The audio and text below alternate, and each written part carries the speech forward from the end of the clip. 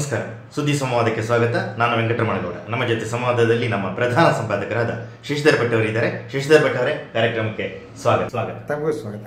ಭಾರತೀಯ ಆ, ಏನು ವಾಯು ಬಲಕ್ಕೆ ಹೊಸ ಬಲ ಸೇರ್ಪಡೆ ಆಗ್ತಿದೆ. ರಫೇಲ್ ಐದು ವಿಮಾನಗಳು ಇವತ್ತು ಅಧಿಕೃತವಾಗಿ ಸೇರ್ಪಡೆ ಆಗ್ತಾ ಇವೆ. ಇದು ಒಂದು ಮುಖ್ಯ ಬೆಳವಣಿಗೆ ಅಂತ ಅಂದ್ಕೊಳ್ತಿರುವಾಗಲೇ ನಾವು ಇನ್ನೊಂದು ವಿಷಯವನ್ನು ನಮ್ಮೆದುರಿಗಿನ ಆತಂಕದ ಬಗ್ಗೆ ಗಮನಿಸಬೇಕು. ಅದು ಚೀನಾ ಮತ್ತು ಪಾಕಿಸ್ತಾನ ನಮ್ಮ ಬಗ್ಗೆ ಸಾಧಿಸ್ತಿರುವ ವೈರದ ಹಿನ್ನೆಲೆಯಲ್ಲಿ ನಾವು ಮಾಡಬೇಕಾದ ಯೋಜನೆ. ಒಂದು ಗೌಡ್ರ, ರಫಾಲ್ ಯುದ್ಧ ವಿಮಾನಗಳು, ಏನು, ಐದು ವಿಮಾನಗಳು ಆಗಸ್ಟ್ನಲ್ಲಿ, ಕಳೆದ ಇದರಲ್ಲಿ ಬಂದಿತ್ತು ದಟ್ ಈಗ ಅಧಿಕೃತವಾಗಿ ಸೇರ್ಪಡೆಯಾಗಿದೆ. ಈ ಸಮಾರಂಭ ನಡೀತಾ ಇದೆ. ಒಂದು ಭಾಳ ಸಂತೋಷವಾದ್ದು ಅಲ್ಲಿ ಸರ್ವಧರ್ಮ ಪೂಜೆ ನಡೆದದ್ದು. ಭಾಳ ದಿನದಿಂದ ನಾನು ಅದನ್ನು ನೋಡಿರಲಿಲ್ಲ. ಸೊ ಹಿಂದೂ ಕ್ರಿಶ್ಚಿಯನ್ ಮುಸ್ಲಿಂ ಎಲ್ಲ ಧರ್ಮಗುರುಗಳು ಕೂಡ ಯು ಸಿ ದಟ್ ಈ ಸೇರ್ಪಡೆಯ ಸಂದರ್ಭದಲ್ಲಿ ಭಾರತದ ರಕ್ಷಣೆ ಬಗ್ಗೆ ಪ್ರಾರ್ಥನೆ ಮಾಡಿದ್ರು. ನಮ್ಮ ದೇಶ ಒಂಥರ ಕಣ್ಣು ತುಂಬಿಕೊಳ್ಳೋ ಆಯಿತು ಸೊ ಕ್ರಿಶ್ಚಿಯನ್ನ ಧರ್ಮಗುರುಗಳು ಸಿ ಯೇಸುವನ್ನು ಬೇಡ್ತಾ ಇದ್ರು, ಮುಸ್ಲಿಮರು ಅಲ್ಲಾನನ್ನು ಕೇಳ್ತಾ ಇದ್ರು, ಹಿಂದೂಗಳು ತಮ್ಮ ದೇವರನ್ನು ಕೇಳ್ತಾ ಇದ್ರು. ಎಲ್ಲರೂ ಕೂಡ ಈ ದೇಶ ಇದೆಯಲ್ಲ, ಈ ದೇಶದಕ್ಕೆ ಭಾಳ ಸಂತೋಷಕರವಾದ್ದು.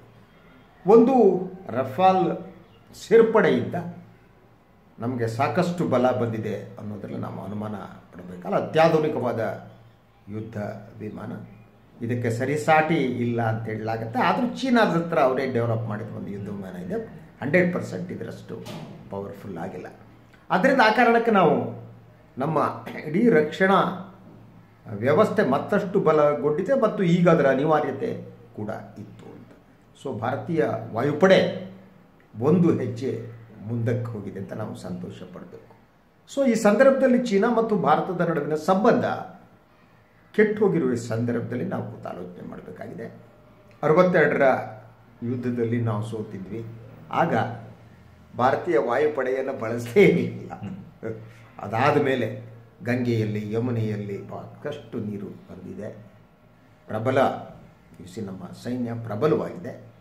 ಸೊ ಇತ್ತೀಚೆಗೆ ಕೂಡ ಕಳೆದ ವಾರ ಏನು ಒಂದು ಸಣ್ಣ ಯಶಸ್ಸು ನಮಗೆ ದಕ್ಕಿದೆ ಅಂತಲೇ ಅನ್ನಬೇಕು ಚೀನಾ. ಅದರ ಜೊತೆಗಿಂದ. ಯಾಕೆಂದರೆ ಚೀನಾ ಪರ್ವತ ಕೆಲವು ಪ್ರದೇಶಗಳ ಎರಡು ಮೂರು ಸೆಕ್ಟರ್ನಲ್ಲಿ ನಾವು ಹೋಗಿ ಮೇಲೆ ಕೂತಿದ್ದೀವಿ. ದಟ್ ಇಸ್ ಪಾಸಿಟಿವ್ ಆದ ಥಿಂಗ್ ಅದು ಚೀನಾಕ್ಕೆ ಬಿಸಿ ನುಂಗಲಾರದ ತುತ್ತಾಗಿದೆ ಅನ್ನುವ ಮಾತು ಕೂಡ ಕೇಳಬಾರ್ದು. ಈ ಸಂದರ್ಭದಲ್ಲಿ ನಡೆಯುತ್ತಿರೋ ಬಹಳ ಮುಖ್ಯವಾದ ಚರ್ಚೆ ನಾವು ಮಾಡಬೇಕಾದ್ದು.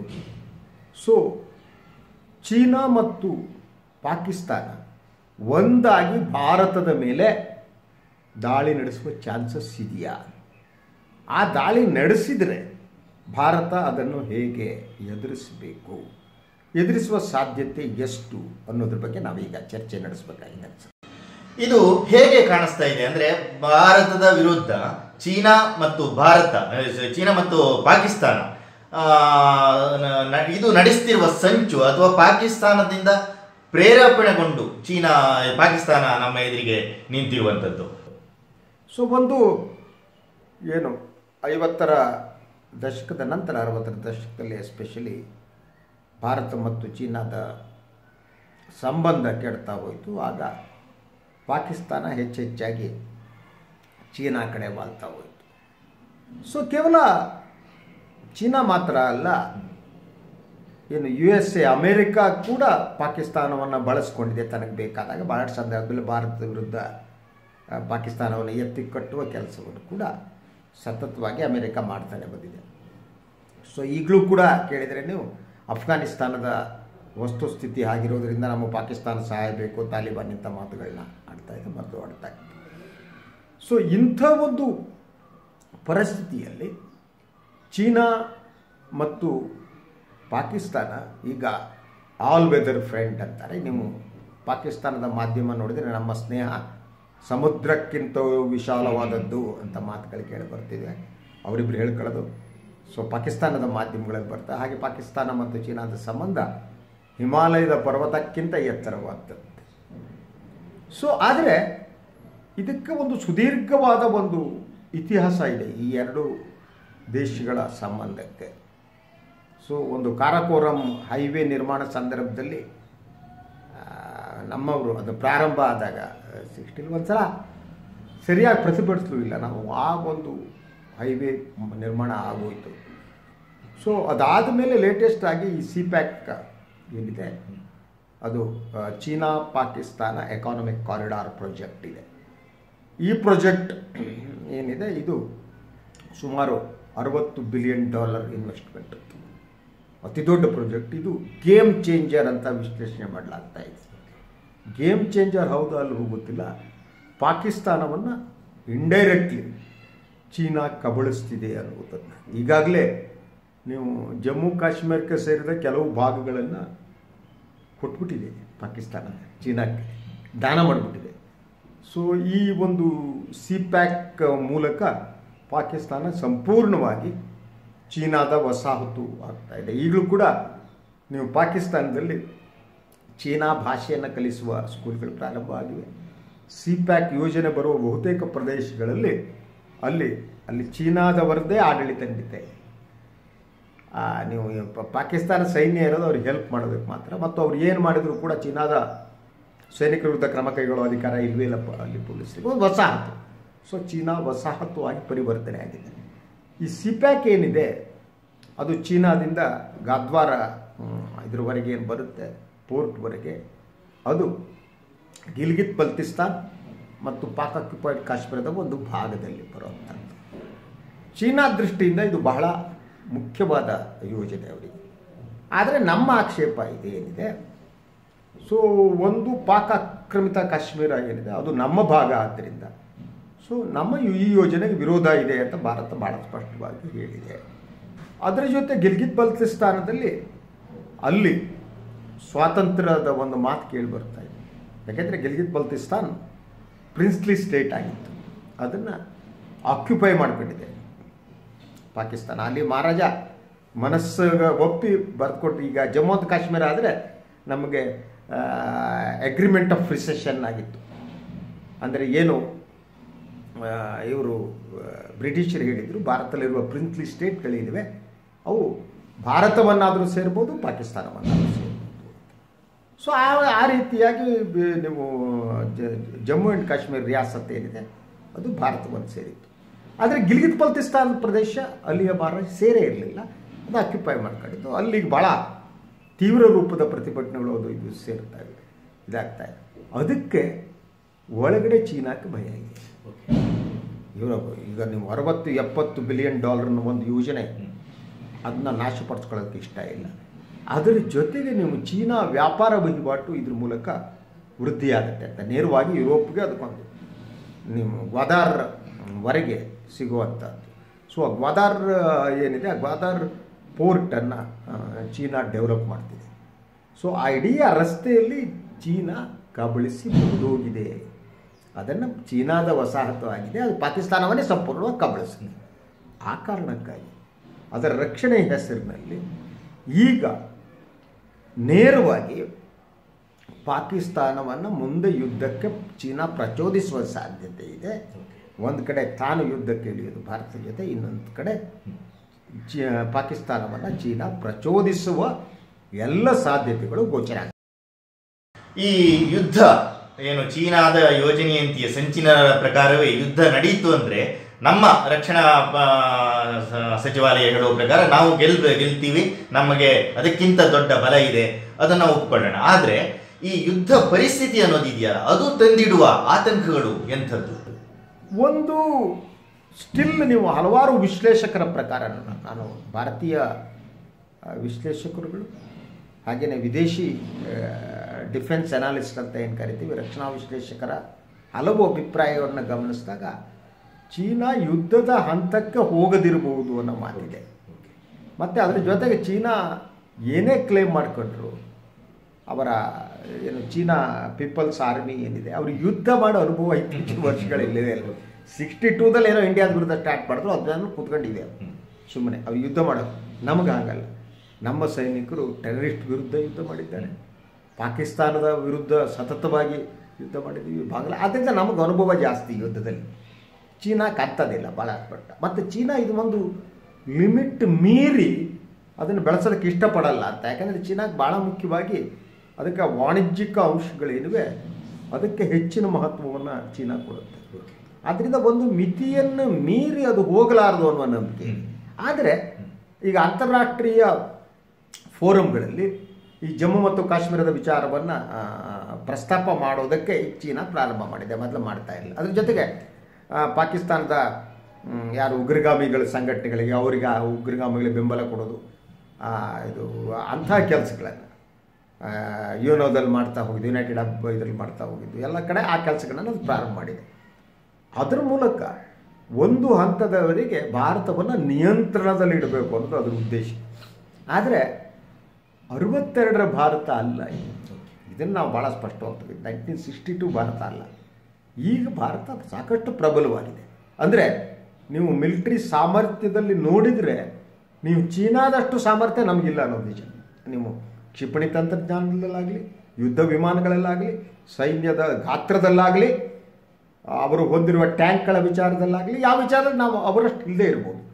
ಆದರೆ ಕೇವಲ ಉಪಕರಣಗಳ ಮೂಲಕ ಮಾತ್ರ ಯುದ್ಧವನ್ನು ಗೆಲ್ಲೋದಕ್ಕಾಗಲ್ಲ ಯುದ್ಧವನ್ನು ಗೆಲ್ಲುವುದಕ್ಕೆ ಅದರ ಹಿಂದೆ ಕೆಲಸ ಮಾಡುವ ಮನಸ್ಸುಗಳಿದೆಯಲ್ಲ ಅವರ ಬದ್ಧತೆ ಇದೆಯಲ್ಲ, ಅವರ ದೇಶ ಪ್ರೇಮ ಇದೆಯಲ್ಲ, ಅವರ ತ್ಯಾಗ ಮತ್ತು ಬಲಿದಾನ ಇದೆಯಲ್ಲ ಭಾಳ ಮಹತ್ವದ್ದಾಗುತ್ತೆ. ಆ ದೃಷ್ಟಿಯಿಂದ ಭಾರತೀಯ ಸೈನಿಕರೇನಿದ್ದಾರೆ ಅವರ ಬದ್ಧತೆ ಏನಿದೆ, ಅವರ ನಿಷ್ಠೆ ಏನಿದೆ, ಅದು ಪ್ರಶ್ನಾತೀತವಾದದ್ದು. ಆ ದೃಷ್ಟಿಯಿಂದ ನಾವು ಮೇಲ್ಗೈಯನ್ನು ಸಾಧಿಸ್ತೇವೆ. ಆದರೆ ಚೀನಾ ಕೂಡ ಎಲ್ಲವನ್ನು ವಾಣಿಜ್ಯದಿಂದ ನೋಡೋದಕ್ಕೆ ಪೂರ್ಣ ಪ್ರಮಾಣದ ಯುದ್ಧಕ್ಕೆ ಚೀನಾ ಇದು ಮಾಡಲ್ಲ. ಆದರೆ ಪಾಕಿಸ್ತಾನಕ್ಕೆ ಬೆಂಬಲ ಕೊಟ್ಬಿಟ್ಟು ಉಗ್ರಗಾಮಿ ಚಟುವಟಿಕೆಗಳನ್ನು ಇನ್ನೊಂದಿಷ್ಟು ಮಾಡಿಸ್ಬೋದು. ಗಡಿಯಲ್ಲಿ ಗುಂಡುಗಳನ್ನು ಹೊಡಿಬೋದು. ಈಗ ನಡೀತಿರುವ ತಳ್ಳಾಟಗಳೇನಿವೆ ಆ ತಳ್ಳಾಟಗಳು ಜಾಸ್ತಿ ಆಗ್ಬೋದು. ಸೊ ಅದರಿಂದ ಇದು ಒಂದು ಕಡೆ ಏನು ಏನು ಮೂರು ಸಾವಿರ ಚಿಲ್ಲರೆ ಕಿಲೋಮೀಟರ್ ಗಡಿ ಇದೆ ಚೀನಾ ಮತ್ತು ಭಾರತದ್ದು. ಅಲ್ಲಿ ಸಣ್ಣ ಪುಟ್ಟ ತಲೆಗಳನ್ನ ಮುಂದುವರಿಸ್ತಾ ತಳ್ಳಾಟಗಳನ್ನ ಮಾಡ್ತಾ ಗುಂಡು ಹೊಡಿತಾ ಮಾಡ್ತಾ ಈ ಕಡೆ ಪಾಕಿಸ್ತಾನ ಮಾಡಿ ಆ ಮೂಲಕ ಏನಾಗ್ತಂದ್ರೆ ಒಂದು ಇದರ ಪರಿಣಾಮ ಅಂದರೆ ನೀವು ಬೇರೆದ್ರ ಬಗ್ಗೆ ಯೋಚನೆ ಮಾಡೋಕ್ಕಾಗಲ್ಲ.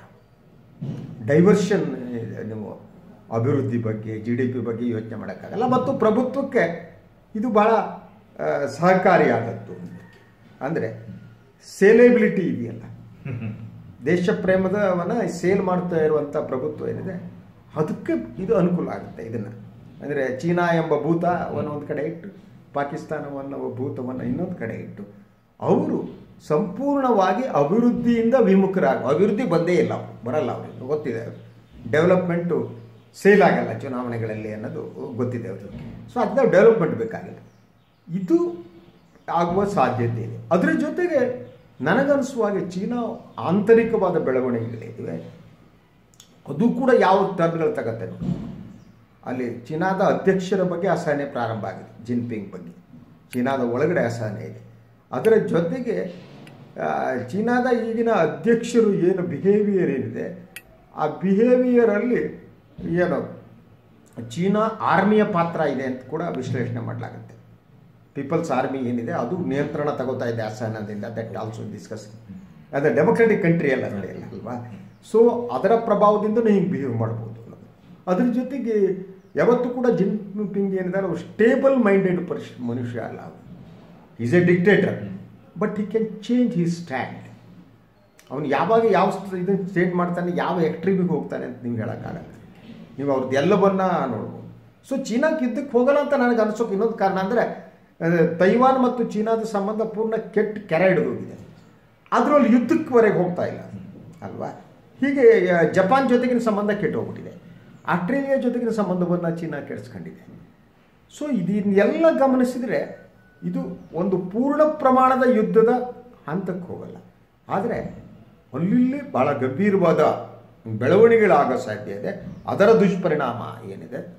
ಅದು ಭಾರತದ ಆರ್ಥಿಕತೆ ಮೇಲೆ ಬಿದೆ ಬೀರುತ್ತೆ ಅಲ್ವಾ? ಅದನ್ನು ನೀವು ಡಿನೈ ಮಾಡೋಕ್ಕಾಗಲ್ಲ. ಯಾಕೆಂದರೆ ಸದಾ ಯುದ್ಧದ ಬಗ್ಗೆ ಮಾತಾಡ್ತಾ ನೀವು ಸೈನ್ಯವನ್ನು ಸನ್ನದ್ಧವಾಗಿಡಬೇಕು ಅದಕ್ಕೆ ವೆಚ್ಚ ಕಮ್ಮಿ ಇಲ್ಲ ನೀವು. ನೀವು ಹದಿನಾರು ಸಾವಿರ ಅಡಿ ಎತ್ತರೆ ದೂರದಲ್ಲಿ ಹಿಮಾಲಯದಲ್ಲಿ ಅಲ್ಲಿ ಸಂಚರಿಸೋದು. ಅವರಿಗೆ ಆರ ಪೂರ್ಣ will have to divert the things ಅದು ಅಭಿವೃದ್ಧಿಗೆ ಮಾರಕ ಆಗುತ್ತೆ ಅನ್ನೋದು. ಮತ್ತು ಯುದ್ಧದ ಮೂಲಕ ಇದು ಪರಿಹಾರ ಆಗುವುದೂ ಅಲ್ಲ. ಯಾಕೆಂದರೆ ಈ ಈ ಕಾನ್ಫ್ಲಿಕ್ಟ್ನಲ್ಲಿ ನೀವು ಗಮನಿಸಿಕೊಂಡ್ರೆ ಮೂರು ರಾಷ್ಟ್ರಗಳಿದ್ದಾರೆ. ಭಾರತ, ಪಾಕಿಸ್ತಾನ, ಚೀನಾ. ಮೂರೂ ರಾಷ್ಟ್ರಗಳು ಅಣು ಇದನ್ನು ಒಂದು ಶಸ್ತ್ರಾಸ್ತ್ರವನ್ನು ಹೊಂದಿದ್ದು. ಅಲ್ವಾ? ನ್ಯೂಕ್ಲಿಯರ್ ಪವರ್ಸ್ ಇವು. ಸೊ, ಯಾವಾಗ ನ್ಯೂಕ್ಲಿಯರ್ ಪವರ್ ಇರುತ್ತೆ, ನಿಮ್ಮ ಹತ್ರ ನ್ಯೂಕ್ಲಿಯರ್ ಅಸ್ತ್ರ ನೀವು ಬಿಡ್ತೀರಿ ಬಿಡಲ್ಲ ಅದೊಂದು ನಿಯಂತ್ರಣದ ಕೆಲಸವನ್ನು ಮಾಡುತ್ತೆ. ಮೂರು ನ್ಯೂಕ್ಲಿಯರ್ ಪವರ್ ಆದ್ದರಿಂದ ಯುದ್ಧ ಒಂದು ಹಂತವನ್ನು ಮೀರಿ ಹೋಗೋದಿಲ್ಲ. ಹೋಗ್ಬಿಟ್ರೆ ಯಾವನೋ ತಲೆ ಕೆಟ್ಟು ನನ್ನ ಮಗ ಹೋಗ್ಬಿಟ್ಟು ಬಿಸಿ ಅಣುಬಾಂಬ್ ಹಾಕ್ಬಿಟ್ರೆ ಮುಗಿದೋಯ್ತು ಅಂತ ಮೂರು ರಾಷ್ಟ್ರಗಳಿಗೆ ಗೊತ್ತಿರುತ್ತೆ. ಸೊ ಆ ಕಾರಣಕ್ಕೆ ಯುದ್ಧವನ್ನು ನಿಯಂತ್ರಿಸೋ ಕೆಲಸವನ್ನು ಇಂಡೈರೆಕ್ಟ್ಲಿ ಇದು ಮಾಡ್ತಾ ಹೋಗುತ್ತೆ. ಸೊ ಆ ಕಾರಣಕ್ಕಾಗಿ ಇದು ಮಿತಿ ಮೀರಕ್ಕೆ ಹೋಗಲ್ಲ. ಗಡಿಯಲ್ಲಿ ಕೆಲವು ಸಾವುಗಳಾಗೋದು ತಳ್ಳಾಟಗಳು ಇನ್ನೊಂದು ಉದ್ವಿಗ್ನ ಪರಿಸ್ಥಿತಿ ಇರುತ್ತೆ. ಅದು ಪೂರ್ಣ ಪ್ರಮಾಣದ ಯುದ್ಧವಾಗಿ ಪರಿವರ್ತನೆ ಆಗೋದಕ್ಕೆ ಯಾಕೆ ಕೊಡಲ್ಲ ಅಂದರೆ ಮೂರೂ ರಾಷ್ಟ್ರಗಳು ಅಣುವಸ್ತ್ರವನ್ನು ಅಸ್ತ್ರವನ್ನು, ಅಣು ಅಸ್ತ್ರವನ್ನು ಹೊಂದಿದಂಥವಾಗಿ ಆದ್ದರಿಂದ ಅಂತಾರಾಷ್ಟ್ರೀಯ ಸಮುದಾಯ ಕೂಡ ಇಂಟರ್ಫಿಯರ್ ಮಾಡ್ತದೆ. ಯಾಕೆ ಮೂರು ಇದ್ದವರು ವಿಶ್ವ ಮುಳುಗೋಗ್ಬಿಡುತ್ತೆ ಮತ್ತು ವಿಶ್ವದ ಅತಿ ಹೆಚ್ಚು ಜನಸಂಖ್ಯೆ, ನೀವು ಭಾರತ, ಚೀನಾ ಸೇರಿದೆ. Number one and number two so ಅರ್ಧ ವಿಶ್ವ ನಾಶ ಆದಾಗೆ. ಸೊ ಆ ಕಾರಣಕ್ಕೆ ಅದಕ್ಕೆ ಅವಕಾಶ ಆಗಲ್ಲ ಅಂತ ನನಗೆ ಅನಿಸುತ್ತೆ. ಮೊನ್ನೆ ಅಷ್ಟೇ ನಮ್ಮ ವಿದೇಶಾಂಗ ಸಚಿವರು ಹೇಳಿದ್ರು, ಲಡಾಖ್ನಲ್ಲಿ ಪರಿಸ್ಥಿತಿ ಗಂಭೀರ ಅನ್ನುವಂಥ ಒಂದು ಹೇಳಿಕೆಯನ್ನು ಅವರು ಕೊಟ್ಟರು ಅಂದ್ರೆ ಇಂಥ ಹೊತ್ತಲ್ಲಿ ರಾಜತಾಂತ್ರಿಕತೆಯ ಮೂಲಕವೇ ನಾವು ಯುದ್ಧವನ್ನ ಮೀರಿದ ಒಂದು ವಾತಾವರಣವನ್ನು ಸೃಷ್ಟಿಸುವುದಕ್ಕೆ, ಯುದ್ಧವನ್ನ ನಿವಾರಿಸಿಕೊಳ್ಳೋದಕ್ಕೆ ಹೇಗೆ ಸಾಧ್ಯ? ಮಾತುಕತೆ ಮೂಲಕ ಮಾತ್ರ ಇದನ್ನ ಬಗೆಹರಿಸೋಕೆ ಸಾಧ್ಯ. ಇವತ್ತು ಕೂಡ ರಷ್ಯಾದಲ್ಲಿ ಭಾರತ ವಿದೇಶಾಂಗ ಸಚಿವರು ಮತ್ತು ಚೀನಾ ವಿದೇಶಾಂಗ ಸಚಿವರ ನಡುವೆ ಮಾತುಕತೆ ನಡೀತಾ ಇದೆ. ಅಲ್ವಾ? ಶಾಂಘೈ, ಶೃಂಗಸಭೆ ನಡೀತಾ ಇದೆ ರಷ್ಯಾದಲ್ಲಿ. ಸೊ ಅಲ್ಲೇನೆ ಹ್ಮ್, ನಮ್ಮ ಎಸ್ ಜೈಶಂಕರ್ ಅವರು ಹೋಗಿದ್ದಾರೆ ಅಲ್ಲಿ ಒಂದು ವಾಂಗ ಏನೋ ಅವ್ರ ಹೆಸರು ಹೇಳೋದು ಕಾಣ್ತಾ he is also coming they are meeting so Russia active ಆಗಿದೆ. ರಷ್ಯಾ ಆ್ಯಕ್ಟಿವ್ ಆಗಿ ಇಬ್ಬರ ನಡುವಿನ ಈ ಜಗಳವನ್ನು ಬಗೆಹರಿಸುವ ಯತ್ನದಲ್ಲಿ ರಷ್ಯಾ ಇದೆ ಇಂಡೈರೆಕ್ಟ್ಲಿ ಸೊ ಸ- ಅದು ಒಂದು ವೇದಿಕೆಯನ್ನು ಕೂಡ ರಷ್ಯಾ ಸೃಷ್ಟಿಸಿ ಕೊಡ್ತಾ ಇದೆ. ಈ ಮಾತುಕತೆ ಏನಾಗುತ್ತೆ ನೋಡ್ಬೇಕು. ಆದ್ದರಿಂದ ಯಾವುದೋ ಒಂದು ಹಂತದಲ್ಲಿ ಚೀನಾ ಸುಮ್ಮನಾಗ್ಬೋದು ಮತ್ತೆ ನಾವುಗಳು ಹದಿನೈದು ತಿಂಗಳಾದ್ಮೇಲೆ ಶುರು ಮಾಡೋದು. That is that is act ಅವರು. ಸೊ ಆದರೆ ಏನು ಗಡಿ ನಿಯಂತ್ರಣ ರೇಖೆಯನ್ನು ವಿಸ್ತರಿಸುವ ಅದರ ಉದ್ದೇಶ ಇತ್ತು. ಅದು ಒಂದು ಎರಡು ಮೂರು ಪ್ರದೇಶದಲ್ಲಿ ಚೀನಾ ಯಶಸ್ವಿ. ಆದರೆ ಇತ್ತೀಚೆಗೆ ಲಾಸ್ಟ್ ವೀಕ್ ಬೆಳವಣಿಗೆಯಲ್ಲಿ ಇಂಡಿಯಾ ಕೂಡ ಕೆಲವು ಪ್ರದೇಶಗಳನ್ನು, ಅಂದರೆ ಒಂದು ಬಫರ್ ಜೋನ್ ಟೈಪ್ ಏನಿತ್ತು, ಅದು ಕೆಲವು ಕ್ಯಾಪ್ಚರ್ ಮಾಡ್ಕೊಂಡಿವೆ. ಅಂದರೆ ಭಾರತ ಮತ್ತು ಚೀನಾದ ವಾಸ್ತವ ನಿಯಂತ್ರಣ ರೇಖೆಗಳಿವೆ. ಮಧ್ಯೆ ಕೆಲವು ಸ್ಥಳಗಳಿವೆ. ಅದು ಇಟ್ಟಿದ್ದಾರೆ ಅಂದರೆ ನೀವು ಯಾವತ್ತೂ ಕೂಡ ಎರಡು ಸೈನ್ಯ ಹತ್ತತ್ರ ಬರಬಾರ್ದು ಅನ್ನೋ ಕಾರಣಕ್ಕೆ. ನೀವು ಗಸ್ತಿರ್ಗೋದಕ್ಕೂ ಕೂಡ ಕೆಲವು ಕಿಲೋಮೀಟ್ರ್ಗಳ ಅಂತರ ಇರುತ್ತೆ. ಹತ್ತಿರ ಹತ್ತಿರ ಗಸ್ ತಿರುಗಲ್ಲ. ಆ ಪ್ರದೇಶದಲ್ಲಿ ನಾಳೆ ಇವರು ತರಲೆ ಮಾಡ್ತಾರೆ ಅಂತ ಕೆ ಒಂದು ಎರಡು ಮೂರು ಪ್ರದೇಶದಲ್ಲಿ. ಏನು ಪರ್ವತ ಪ್ರದೇಶದ ಮೇಲೆ ಹೋಗಿ ಇಂಡಿಯಾದ ಸೈನ್ಯ ಆಗಿ ಕೂತಿದೆ. ಅದು ಚೀನಾಕ್ಕೆ ಹೆಚ್ಚು ಕೆರಳಿಸಿದೆ. ಚೀನಾ ಇದರಿಂದ ಸಿಟ್ಟು ಸಿಟ್ಟಾಗಿದೆ. ಸೊ ಸಿಟ್ಟಾದ್ಮೇಲೆ ಏನು ಮಾಡಬೇಕು? ಅದು ಇನ್ನೂ ಕ್ಯಾಪ್ಚರ್ ಮಾಡೋಕ್ಕೆ ಟ್ರೈ ಮಾಡಿ ಸೊ ಅದರಿಂದ ಭಾರತ ಮತ್ತು ಚೀನಾ ವಿದೇಶಾಂಗ ಸಚಿವರ ನಡುವೆ ಏನು ಇವತ್ತೇನು ಮಾತುಕತೆ ನಡೀತಾ ಇದೆ? ಅದು ಯಾವ ಪರಿಣಾಮ ಬೀರುತ್ತೆ ಅದು. ಯುದ್ಧ ನಮಗೆ ಬೇಡ ಯುದ್ಧ ಯಾರಿಗೂ ಬೇಡ. ಈ ಇಂಥ ಸಂದರ್ಭದಲ್ಲಿ ಚೀನಾದಂಥ ಪಾಕಿಸ್ತಾನದಂಥ ಕುತಂತ್ರವನ್ನು ನಾವು ಬೇರೆ ರೀತಿಯಲ್ಲಿ ಮಣಿಸಬೇಕು ನಮ್ಮ ಮಾಧ್ಯಮಗಳು ರಣಕೇಕೆ ಹಾಕೋದನ್ನು ನಿಲ್ಲಿಸಬೇಕು ಅಂತ ಹೇಳ್ತಾ ಸಂವಾದದಲ್ಲಿ ಪಾಲ್ಗೊಂಡಿದ್ದಕ್ಕೆ ಧನ್ಯವಾದಗಳು. ತಮಗೂ ಧನ್ಯವಾದ. ಜಾಸ್ತಿ ರಣಕೇಕೆ ರುದ್ರನರ್ತನ ತಾಂಡವ ಗಿಂಡವ ಎಲ್ಲ ನಿಲ್ಲಿಸಬೇಕು.